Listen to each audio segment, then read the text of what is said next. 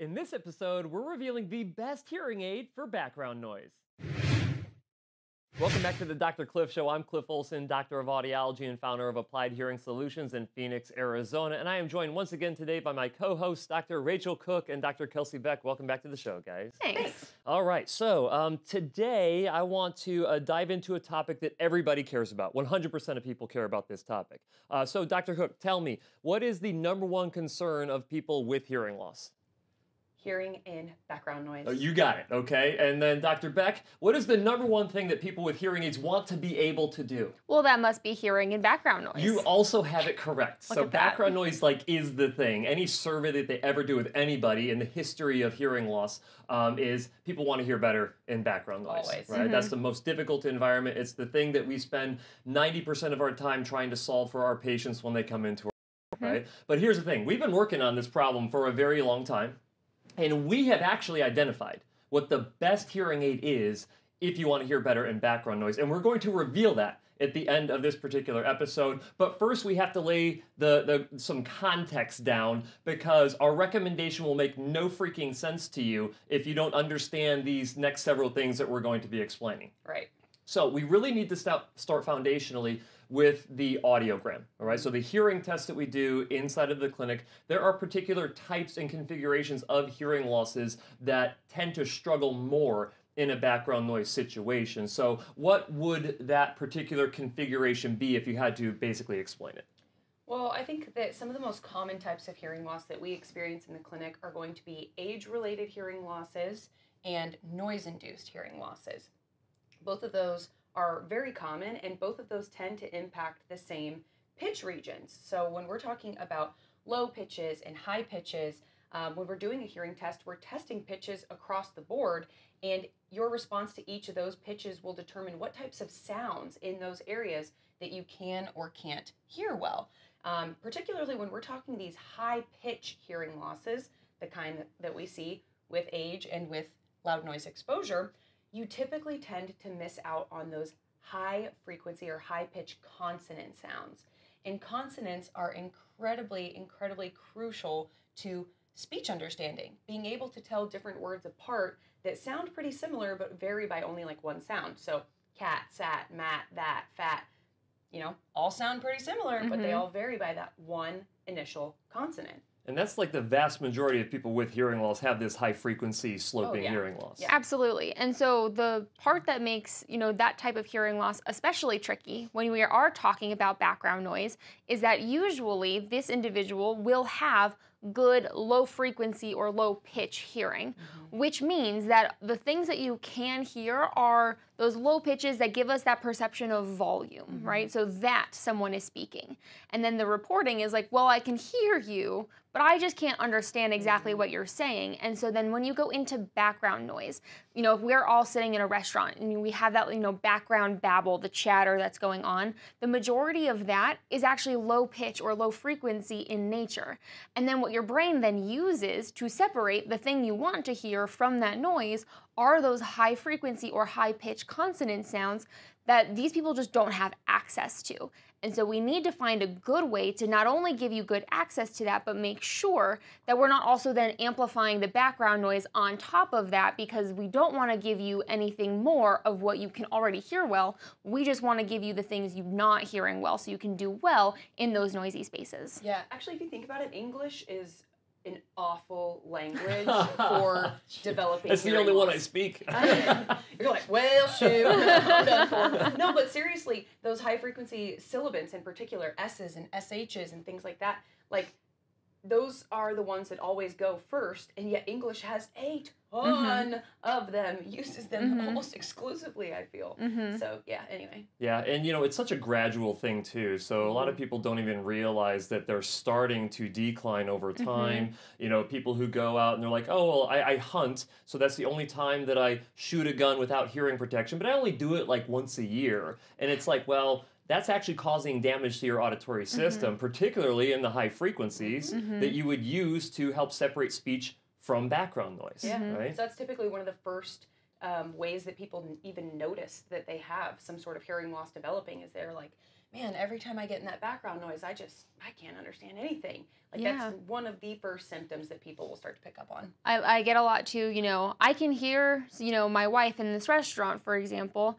but the minute that she looks down at her menu, suddenly I can't hear her anymore. And it's really because I think I'm watching her mouth move mm-hmm. as she's speaking. Because what your brain subconsciously does is it looks for more ways to fill in the gaps of things that it is missing. One of those ways is to actually watch the mouth movements of the other person to try to figure out what the heck letter you're using in that sentence to then, you know, get the context. And sometimes you guess right, but a lot of the times you don't guess correctly. And so now you and your partner are having two completely separate conversations, And this right? is exactly why we do word recognition testing where you can't see anybody's face. That's Mhm, right. You can't see their face. You have no context. It's say the word cat, say the Yeah. word dog, and you have Mhm. no context of what that word's going to be. Right. What's interesting is that that point that you just brought up is individuals with completely normal hearing, in order for them to even hear well in background noise, they often require visual cues as well. Absolutely, because your brain is, you know, it's a big computer, right?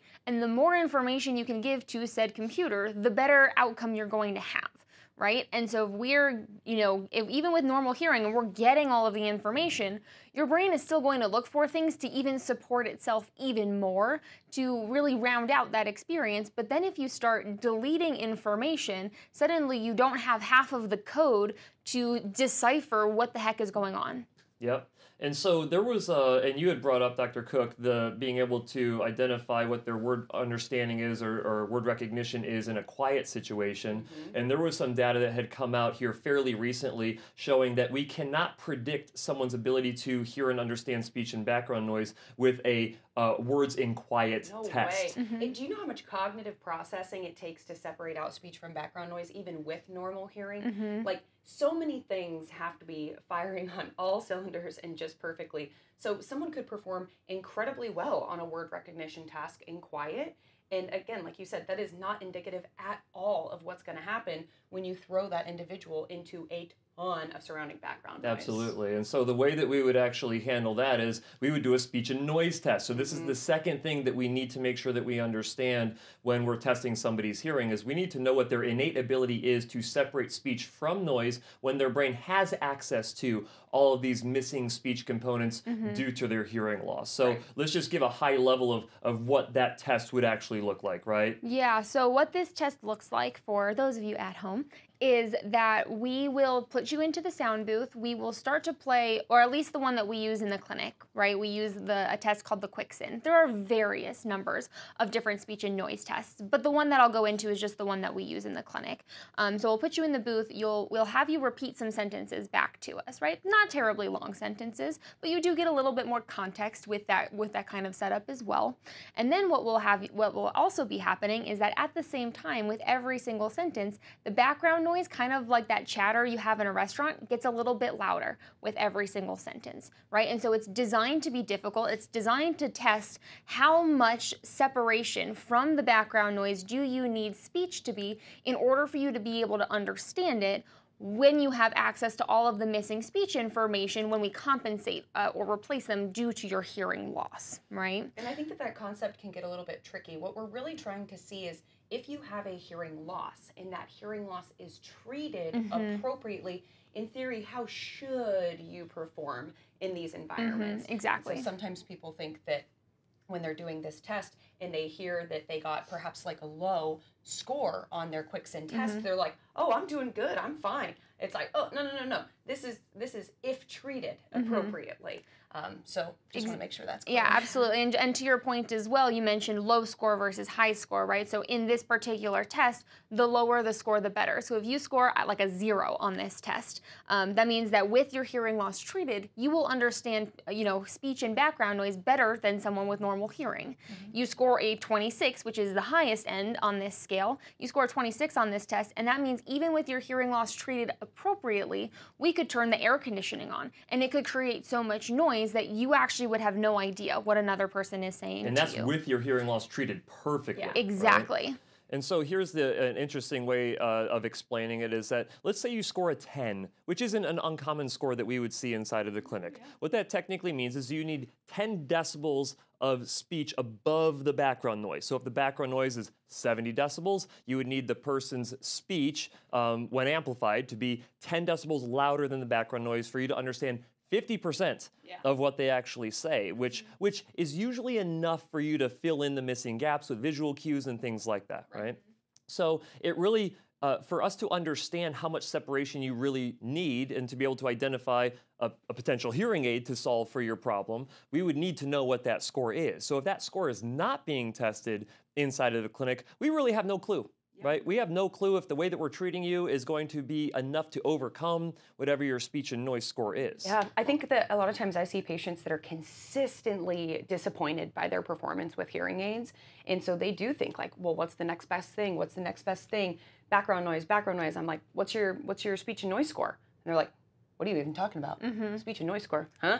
And then we test them and their speech and noise score is so high and it's like, oh, well, that explains it right there. Even mm-hmm. with your hearing aids programmed perfectly, hearing aids alone may not be enough here. Mm-hmm. Well, and, and even more to that point as well is sometimes you'll even test that same individual who has had two, three sets of hearing aids with no success in that background noise, and then you test their word rec- or their uh, you know QuickSIN, their speech and noise test, and they score really, really well on that test, mm. which really gives into this clue of, huh, how have these hearing aids been set up in the past where someone who should be doing really, really well in noise is reporting that they can't even go to restaurants with their family anymore. Yeah. Right? And so it leads to, you know, even just the next topic of how you set up the hearing aid matters so much when we're talking about background noise. You cannot just, you know, do like what's called like a first fit, right? So a first fit is when we place your hearing test into the software of the hearing aid and the software spits out its best guess as to how much sound you might need in order to be hearing very well.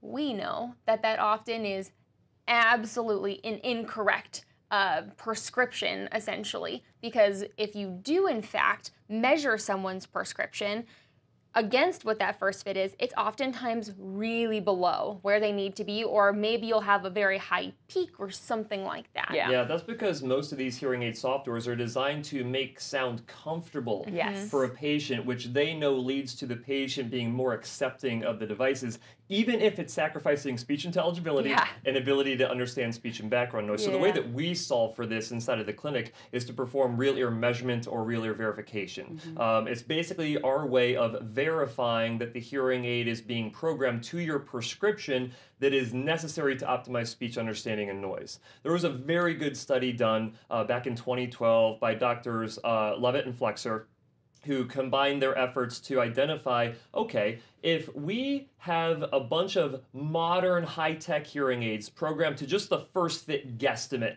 by the software, how do those perform in relation to the same hearing aids programmed using real ear measurement and verifying that you're actually meeting your prescription? But the thing that they also threw in there's a little bit of a curveball. They're like, you know what? I wonder if we pulled an old, crappy analog hearing aid uh, to a verified prescriptive target, which is the NAL NL1, would that perform as well as these modern hearing aids? And so what they actually found is that the modern hearing aids that were not programmed using real ear measurements had significant worse performance than when those same hearing aids were programmed with real ear measurement. But the crazy thing is, is they identified that the old analog hearing aid programmed with real ear measurement outperformed Yeah. the modern digital most advanced technology on the planet that was just set to first fit settings. Mm-hmm. So you literally cannot even take the most amazing hearing aid in the world and make it perform as good as an old analog hearing aid from back in the 80s, mm-hmm. which blows your freaking mind when I you think about it. It does, and then it also doesn't, right? Because if we can just kind of think, you know, even for the layperson, right, who does not do what we do, if you're trying to build a house, right, but you don't measure every, you know, two by four that you're using to frame the house, you're gonna end up with some wonky walls, Yeah. right? Same thing with your prescription. If we don't actually measure what is going on inside of your ear as opposed to, I don't know, Joe Schmo down the street, how do I actually know that I've done my job, that I've given you what you need to be successful? So, what blows my mind more is that how infrequently across the board people are doing real ear measurement. That's what blows my mind even more because logically, you should measure things. Like if you want it done right, you should measure, and we've had the technology for decades at this point to do these measurements. Yeah. Yeah, some of the estimates are right around 30% of hearing care professionals will actually do real ear measurement. I tend to think that these numbers are a little bit high based off of interviews that I do with Uh-huh. providers and all that. Yeah. Um, but uh, regardless, we'll we'll we'll um, err on the side of, of caution and say, okay, it's 30%. That means that 70% of people who are being fit with hearing aids, they do not know if they're meeting their prescription. In fact, I've never measured a hearing aid on first fit settings that ever actually perfectly matched someone's prescription. Only Nope. one time. One time. Really? Only once. And it Okay. was just a couple months ago. Hey, mm-hmm. that's perfect. Just leave But it I took several screenshots because I was like, this will never happen again. doesn't exist. This is I, a I told I told my patient, I was like, who are you? What, Well, you have the perfect No, average ear. You literally have the perfect average ear, and I've never seen this happen before. And I was telling her like, this never happens, never. Like I took pictures and I sent them to the company immediately, and I was like, look, wow, this is amazing. Wow. Well, and even too, earlier this week, I did a fitting. It might it might have been Tuesday, right? Did a fitting, and one ear was actually pretty close, not dead on, but I was not upset at it. Honestly, like if you had gone through a fitting sequence and we had made some adjustments and that's what we turned out with, I'd actually say like 85 to 90% was dead on prescription. The other ear was absolutely not, was nowhere near where it needed to be. So even two ears on the exact same person, because size and shape differences, and the way that it impacts acoustics, one ear was actually I was okay with. The other one was like, um, that is one of the more atrocious ones that I have ever seen. So again, if you don't measure, how do you know? yeah, and You it's don't. a very important thing because you could accidentally get one of the hearing aids programmed correctly. If you don't get the other one programmed correctly, you lose out. You lose out on a lot of binaural benefits, right? Mhm. So binaural squelch, uh, binaural summation, which are both very important things when it comes to hearing and background noise. So, um, you know, two is one, one is none is basically what that comes down to. Now, for individuals who are like, you know what, I'm not sure if I'm part of the 30% who's had this test done and part of or part of the 70% that has not had it done what does real ear measurement even look like to them as a patient going into a provider So there's several different systems that are used to complete real ear verification, but the general gist is that the individual will be seated in a chair and in front of them there's going to be some sort of speaker unit. Uh, this speaker is going to play speech signals, and while it's playing these speech signals, the individual is wearing these loops over their ears with probe microphone tubes that go deep in their ear canals with their hearing aids on top. And so, what that's doing, these probe microphone tubes are measuring and recording exactly what is coming out of the hearing aids in real time in response to these speech signals. Now, on the provider side of things, which uh, you know, really, you should be able to see that at some point and, and see that things have been matched up. So hopefully, your provider's showing you at some part of this process.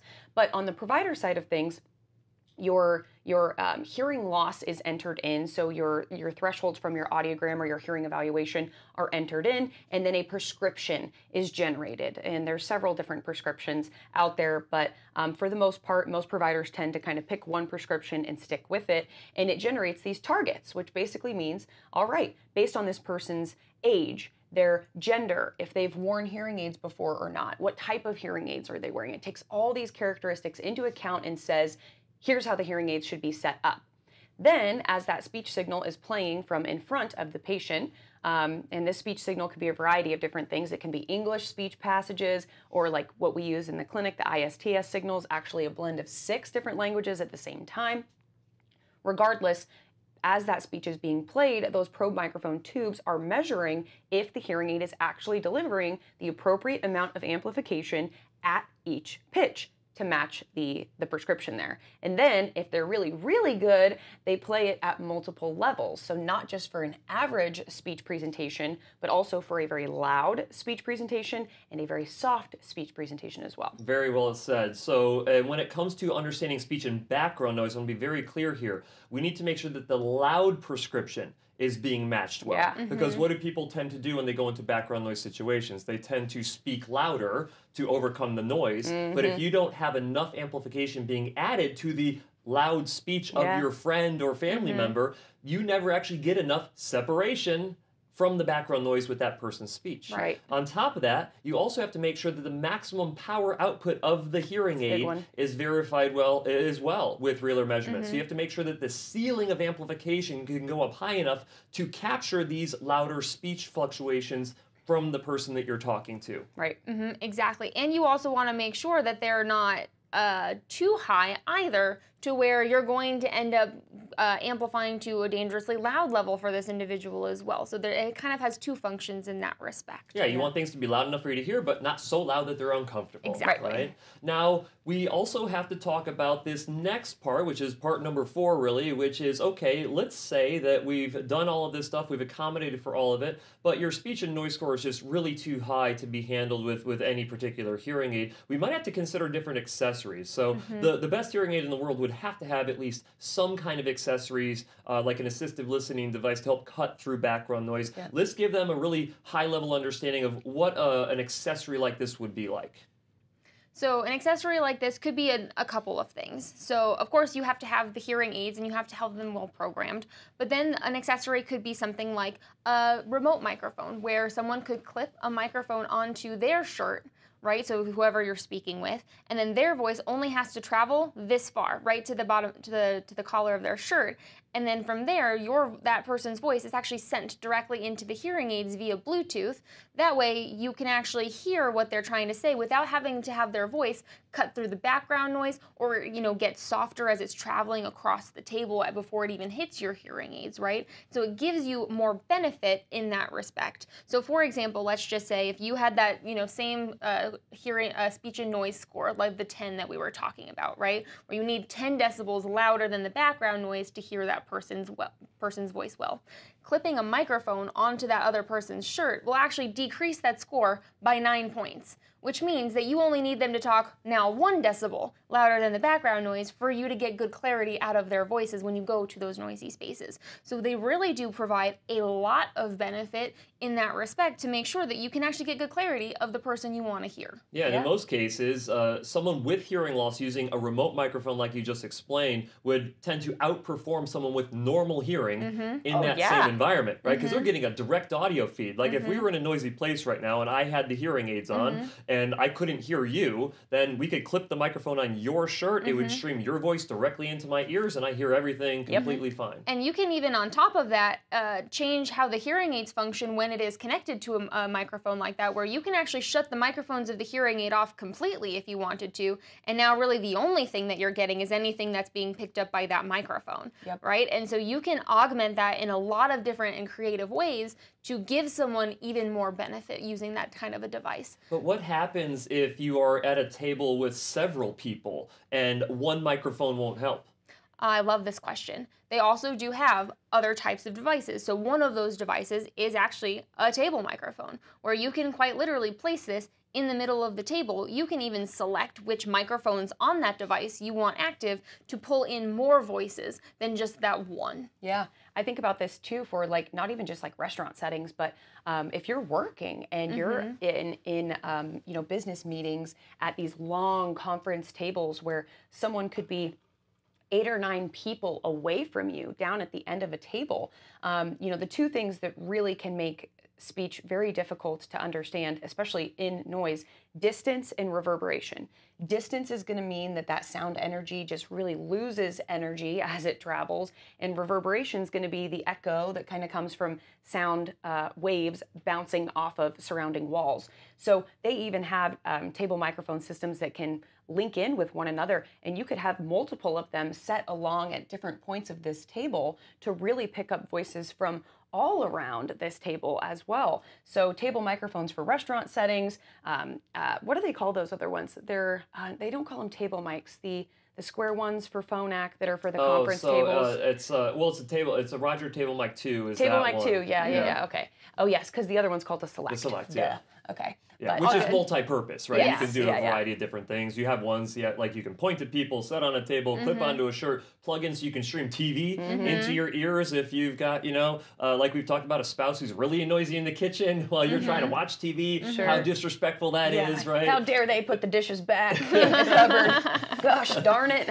I hate when they're cooking me dinner. Exactly, right? exactly. So using accessories like these, uh, like you said, Dr. Beck, you can significantly reduce that speech and noise score down to a level where uh, background noise is not a problem at Mhm. all if you're willing to use one of them, Mhm. right? Yeah. Well, If you're, uh, that's, Ah, uh, that's, uh, we and that's the thing, right? Is that we can tell you all of the things that will make it the best it possibly can be made, right?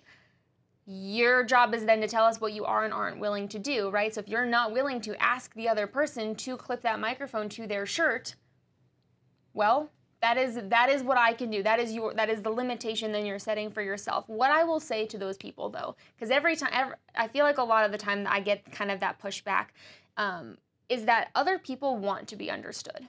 Right? There is not a single person who's going to sit down to have a conversation with you that would be okay with you not understanding them. And so if you say, "Hey, I have a hearing loss. If you wore this on your shirt, this would really really help me out."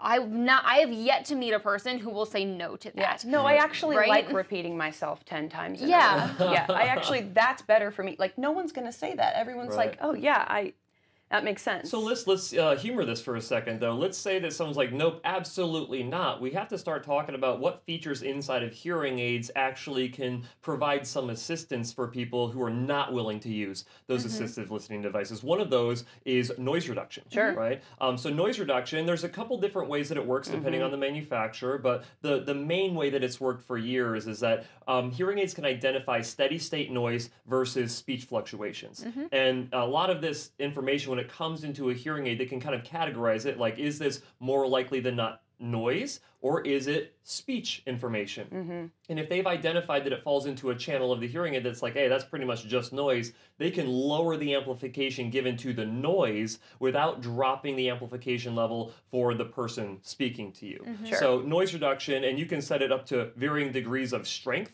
Um, sometimes you can set it too high and it starts bringing down speech too, which is what you want to be careful of. That's why you don't want to just throw in a ton of noise reduction to everyone's programming. But then you can also have it too low where even these lower level hums of like the air conditioner can be so noisy that it interferes with speech. So you need to really make sure that you find the right setting for that. Um, but this is different than noise cancellation. Like I think a lot of people are like, why can't you just do what Bose headphones do? So like, why is that not possible? Oh man, Bose headphones have the easiest job in the Mhm. world. Um, they're probably going to come for me for saying that. but but um, really, when you think about it, when someone is using headphones, the the first advantage that they get is really that they're doing direct audio input. So typically, this is not a live type of a setup. This is you're listening to music or you're taking a you know a phone call or whatever it may be through headphones, which means that you're getting a really strong, really clear, really crisp signal already from the jump. Um, then noise cancellation, really the, the headphones themselves are just using tech normally phase cancellation, right? Where you know sound waves come in at one way, they send in a pattern to go the other way, boom, cancel each other out. That's great. But you're not doing that with people who are sitting right across from you in a loud or noisy setting. You're doing that to stream in that really nice, clean, clear audio. So you can basically kill everything Yeah. on the outside Yeah. and you Mhm. get directly what's being fed in. But when the signal is already mixed with the noise and you have to try to separate them out, it creates an impossible task. Sure, and most people, when they're using those headphones, um, are having completely blocked off ear Mhm. canals. Um, so they're fine to have their ears blocked off because they're probably not talking. They're probably just listening to something. Mhm. Um, and if they are talking, well, you know, it's on a phone call or something like that, and their voice is going to be a bit louder to them when they're doing that, but it's temporary. Um, versus with hearing aids, where you're having back and forth conversation all the time, if your own voice was trapped in like that all of the time, we get complaints about that too of Mhm. I sound too loud or my own voice is too strong or oh my gosh, I cannot eat potato chips anymore because that chewing noise is way too much, Mhm. right? Right. Well, and if you think about it this way too, so you know, restaurants are the most you know complained about spaces, right?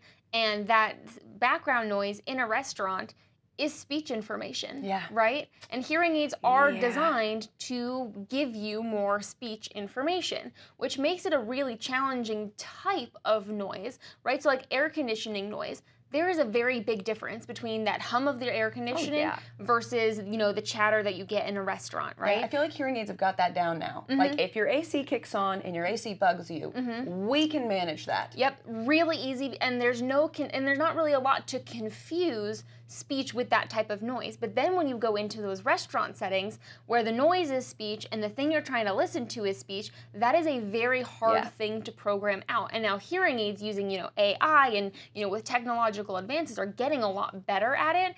It is still a really really tall order. Whereas with Bose, again, or any other noise canceling headphone, right? you're not trying to get anything from your environment, but with hearing aids, we are trying to bring in your environment and get rid of your environment. I mean, it's a really tall order. Yeah. Yeah, I think also we just need to change the the wording because speech and noise is misleading. It's speech and speech. Yeah. Yeah. It is literally speech and speech. Speech that you want to hear and speech that you don't want to hear. Exactly. Mm-hmm. Yeah. Yeah. And so there's another uh, trick that hearing aid manufacturers will use, which is called directionality, which is where they'll take multiple microphones on a hearing aid, and through that they can identify which direction sound is actually coming from based on a timing difference between when that sound hits the front microphone and the rear microphone, and vice versa. And you can really narrow in the range that you want the hearing aid to, to be picking up speech in. And so oftentimes they'll, of course, orient the microphone pickup range in front of you, because that's typically where you want to hear the people talking to you. And you can essentially turn down or reduce the sounds that are coming from behind you. So if you're in a noisy restaurant, you don't want to hear the table behind you. It's very helpful helpful to use a directional microphone setup to primarily focus on the people that you're facing. Sure. Until you go to a birthday party dinner and uh, you're at a table with 12 people and you've got one person on your right, one person on your left, maybe two people on your right, two people on your left, and you're hearing, you know, the two or three people right here. But then as soon as someone to your right says something, those hearing aids are using that directionality to give you that frontal focus because chances are you're probably going to want to hear what's happening from in front of you. But in those types of settings, now you do want to hear what's to the right. You do want to hear what's to the left. Hearing aids, it's a tall order. It is the tallest of orders. And you also have to consider device. that a lot of people with a high frequency sloping hearing loss, they would be open fit with their domes inside of their ear canals, Yeah. which reduces the effectiveness of directionality because what's all the background noise doing anyway? It's finding its way right inside your ear canal Yeah. and it's not being 100% processed by the hearing aid. So Right. so that limits the the functionality of that, but it is also a very important feature. Like you can get a significant improvement with directionality, Oh, you yeah. can get a significant improvement with noise reduction, um, with uh, different compression settings and all that, making sure loud level speech is boosted loud enough Well, and in even those just environments. basic communication strategies like knowing where to sit, knowing where to mm-hmm. position yourself so that your the features that are going to kick on in your hearing aids have the best opportunity of giving you that benefit mm-hmm. that you're looking for. And when I'm talking to patients about noise reduction and about hearing aid directionality, I actually quite literally draw them, you know, a picture of, you mm-hmm. know, kind of what a restaurant might look Yep. like. And I will actually have them select, okay, if you're trying to hear your best, which of these tables would you sit at? You know, would you sit near the bar? Would you sit, you know, near the front door? Would you sit kind of off to the side? And I'll let them pick and then I'll let them pick which seat at that table they would want to sit at in order to hear their best. And 90% of the time, people get this question wrong yeah. because the tendency is to sit, you know, all the way to the back of the restaurant with your back to the wall and looking out at the rest of the restaurant. Well, let us just say that I am wearing these hearing aids and I'm trying to talk to Dr. Cliff over here. And not only am I looking at you, but I'm also looking at the rest of the restaurant.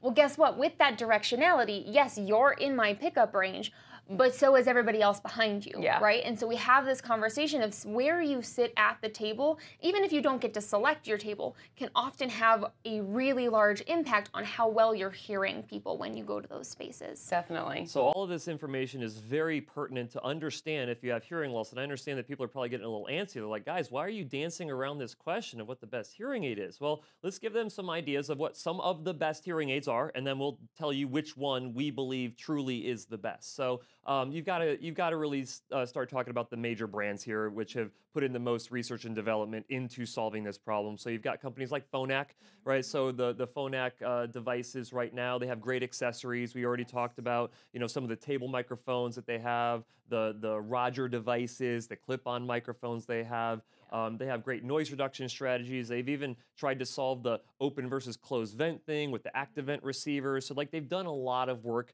uh, with their ability to reduce background noise and help people understand speech and background noise the best that they can. What are some of the other brands that we work with that we see do a pretty good job? Yeah, Oticon jumps out to me just because they've got their uh, initial deep neural network and now they're on their deep neural network 2.0.